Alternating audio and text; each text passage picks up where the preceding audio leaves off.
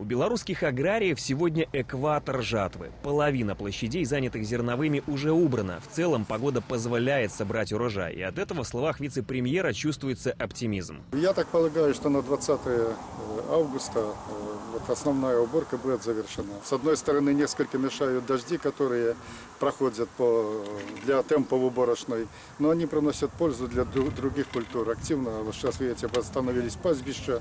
25-й, так пороговый срок э, августа мы должны завершить. Все позитивные цифры жатвы 2016 пока на счету больше тех либоробов, кто работает в южной части страны. Доля северян, а Брасловский район один из таких, пока незначительна. Здесь и солнце меньше, и средняя температура на пару градусов ниже. Да и почвы более увлажненные. Работать тяжелее, но в хозяйстве «Маяк Брасловский», оно считается флагманом районного агропрома, научились бороться с осадками. Ну почему так?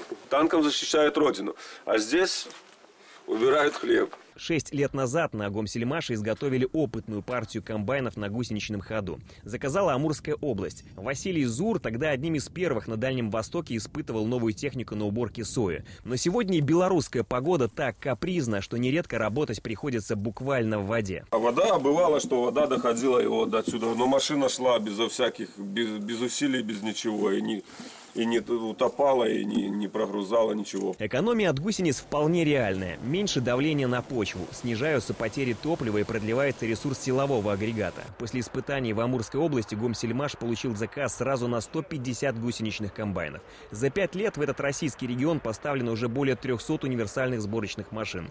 Интерес к модели не падает по сей день. У такой техники уникальная проходимость и повышенная пропускная способность. 10 килограммов зерна в секунду.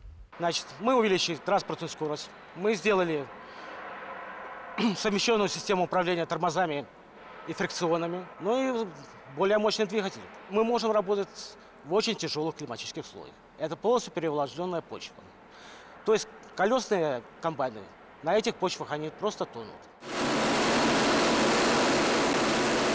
Именно хозяйского подхода требует и президент. Жатва – особый период, поэтому посещение хозяйств и районов в это время никого не удивляет. А вот комбайн на гусеничном ходу Александр Лукашенко впечатлил. Главный вопрос аграриям – какие есть проблемы? Что еще нужно сделать, чтобы все убрать с полей? Те говорят, что все условия созданы, но уповают на погоду, не подвела бы. Погода в этом Нормальная, году идеальная. идеальная. У нас же кроме зерновых еще и свекла, Свекла, и кукуруза, картошка, и картофель, кукуруза, и а корма? А корма? Очень У нас хорошо, кормов, у да, нас да. вот смотрите, 11 миллионов тонн уже мы сенажа заготовили. Дай бог, чтобы всегда была такая погода. Брасловщина – край озерный. Здесь более 200 водоемов, которые занимают десятую часть района. Оттого и сельское хозяйство работает по особым условиям. Но даже если у тебя в районе получилось так, что где-то, где-то, допустим, э, ну вот здесь вот нету людей, Вот здесь и нету. ну я имею в виду, если нету, но там севообороты и земли позволяют Позволяют. э, возделывать э, кормовые культуры, Здесь самые лучшие земли в районе. значит, тем более, значит, и здесь надо строить молочно-товарный комплекс. Да, это будет э, немножко дороже, чем у него построить. Немножко дороже. В каком плане? Тут же люди нужны будут. Поэтому надо 5 домов. Там надо механизаторы, еще 5 домов. 10 домов и комплекс. Техникой все равно и там, и там придется обеспечивать. Но как только ты построишь здесь комплекс, совершенно по-иному будет жить вот эта территория. Это уже из моего опыта, когда мы начинали это все делать. Мы начинали с самого худшего в стране хозяйства. Как только построили нормальный комплекс, мы его там реконструировали, доделали, построили. Вот последний мы уводили даже там э, этот самый комплекс с роботами, да? с роботами. Это последний. Это да, я не представлял. Тогда сказал, чтобы у нас там роботы будут доить коров, да ты что? Сейчас лучшее, одно из лучших в стране хозяйств. Как только построишь ты инфраструктуру, вот эту производственную, все изменится. Губернатор области сетует. Молодежь из колледжей и лицеев приходит недоученной. Учиться приходится прямо в поле. Поэтому Николай Шерстнев предлагает агрокомплексы создавать при учебных заведениях. Почему не должна быть ферма? Построим ферму, пусть молоко будет, пусть деньги будут, пусть подпит, пусть базу Но свою ты меня не расширяют. убеждай в том, чем, в чем я тебя пытаюсь Так мы убедить. поддержка вас Вы опр- Какой? Согласие мы будем делать. Да, согла... Я наоборот вам А э, Матюшевские поручения уже получили. предлагаю. А он вам скажет, что мы можем, что не можем. Или будет э, схему вам нарисует такую, что вам надо будет э, раздеваться и работать. Но только чтобы не было вот э, этого настроения, что а, дадут. Никто ничего не даст. Надо просто заработать. Нечего давать. Давали 20 лет. Мы не бросили людей на произвол судьбы. И подавляющее большинство хозяйств и людей сегодня хорошо работают. Но четверть, с ними надо что-то делать. Сегодня президента ждали и на Брасловском филиале Глубокского молочно-консервного комбината. Пять лет назад здесь вопрос стоял ребром. Что делать с заводом? Оборудование было изношено. Тогда Александр Лукашенко поручил модернизировать предприятие. Сделали. Производство сконцентрировали на сырах. Прошла модернизация, стали, конечно, мы вырабатывать намного больше сыра. 10 тонн в сутки сейчас вырабатываем. Э, много видов теперь у нас сыров. Было где-то около 5 видов, теперь у нас где-то 36 видов сыров. Разрабатываем новые. 90% сыров отправляют на экспорт. Первая в истории завода «Партия» уехала в Казахстан. А со дня на день ждут сертификат из Евросоюза. Западных контролеров устроило производство и качество. И тогда и сегодня, разумеется, не обошлось без дегустации молочных продуктов. От сыров до сгущенного молока нового типа, с минимальным содержанием сахара, но с прежним вкусом. Нет, ну, это легко усвояемый сахар, э, скажем так, натурального происхождения, поэтому... Вот это вкусно. Если это действительно где-то Мейсон не калорийные, то годится. На память Александр Лукашенко оставил автограф. Причем расписаться президента попросили прямо на головке сыра. Разумеется, визит президента на Брасловщину не мог не коснуться и туристической сферы. Эти места уникальны даже в мировом масштабе. Десятки больших озер соединены между собой реками и протоками. Общая площадь водоемов 130 квадратных километров. Именно благодаря такой природе всю страну называют синеокой. Красота должна приносить не только эстетическое наслаждение, но и материальную прибыль. Это закон времени. В прибрежной зоны активно идет туристическая инфраструктура.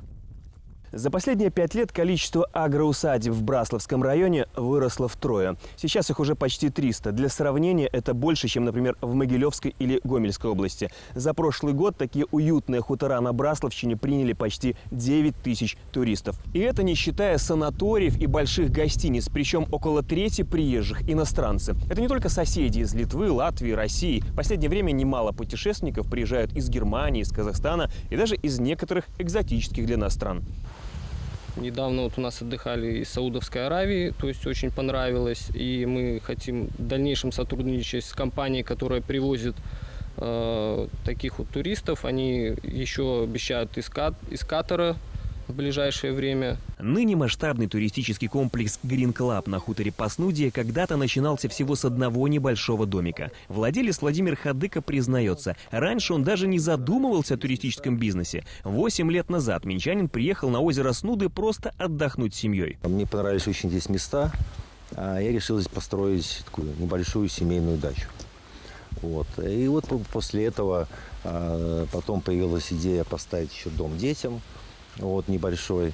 Ну вот как-то оно постепенно и превратилось, в общем-то, вот в такой, в такой комплекс. Бизнес семейный, но на работу принимают и местных. В сезон обслуживающий персонал увеличивается до 20 человек. Сейчас все домики заняты. За рыбной ловлей случайно встречаем одного из постояльцев. Известный шоумен Вадим Галыгин здесь уже восьмой раз. Говорит, какое море, когда есть такие озера.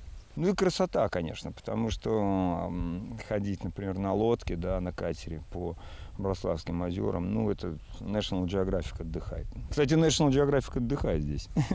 Приезжают, рейтинги составляли тоже там. На грунтовую дорогу хутора Преснудье сворачивает и президентский кортеж. Хозяин комплекса рассказывает главе государства о масштабных планах. В развитие вкладывает всю прибыль. Уже началось строительство небольшой гостиницы, а следом появится спа-центр, который позволит привлекать туристов в любой сезон. Впрочем, в туристической отрасли региона остается и немало проблем, подтверждают местные власти. До уровня агроусадеб пока не дотягивают дороги и другая инфраструктура. Да и запретов и ограничений для бизнеса в водоохранной зоне довольно много. Александр Лукашенко не против пересмотреть законы, но только не ущерб местному населению населению. Это второй год моего было президентства. Я приехал на эту гору, маяк, знаешь, там высокая гора. Я туда поднялся, ну, красота неописуемая. И э, мне начали докладывать местные руководители и люди, которые егеря, там, лесники. И люди, они крепкие тут, ты же понимаешь, иногда очень крепкие. И они мне говорят, Александр Иванович, если вот вы не возьметесь за это, не остановите все, что происходит, то что происходит. А вот это все поделено. И действительно, я когда влез в это, а все было поделено. Вплоть до озер, все разделили.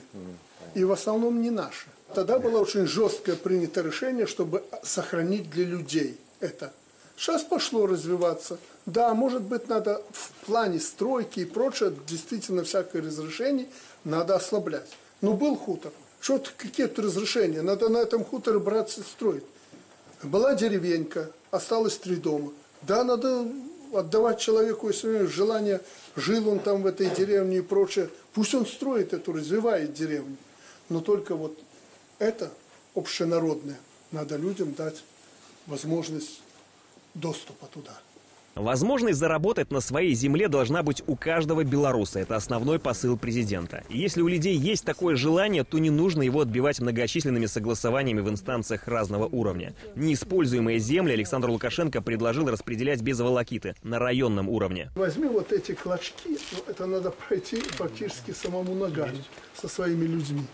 И вот отметь эти пол гектара, полтора гектара, три гектара, где деревня, не деревня, хуторок был или еще что, или просто э, лучше отдать кому-то этот клочок земли, гектар полтора, и он там построит усадьбу. Ты мне это все, э, кадастр этот сделай, я тебя подпишу, и ты сам без всяких разрешений исполком примешь, примешь решение и раздашь. Вот, вот этот вот часть, вот я посмотрел, а почему ему не отдать? Он говорит, я уже обратился, попросил. Но ты представляешь, пока он там дойдет с какими-то разрешениями, так вот... Мы ты- вместо их помогаем, все бумаги им Понятно, так вот не надо это делать. Ты возьми мне Есть. э, эти места все, пропиши, приложи, и ко мне обращение, я подпишу, и ты лично никому, ни губернатору, ты в исполкоме с моего разрешения общего будешь отдавать эти, продавать участки. Есть. Это уже ваше дело исполкома. Где-то дороже, где-то дешевле. Кому-то отдал. Многодетная, допустим, семья захотела, нуждающиеся, еще что-то. И ты это раздашь, но с таким условием, что вот это должно быть в идеальном состоянии. То, что жители Брасловщины талантливые люди и готовы вкладывать в дело душу, подтверждает и подарок президенту. Один из символов озерного края – линь, вырубленная из дерева, выглядит как настоящий. Память. Деревянная рыба, резьба. Не, я думал, жива. Я думал, таранька. Ну, правильно. Я тараньку не очень там кости эти. Нам А, подсказали, а это красиво. А это красиво. Спасибо. Это наши мастера делают. Дмитрий Семченко, Анатолий Занкович, Олег Шапель, Максим Вечерков, Дмитрий Бу, Александр Автухов, УНТ.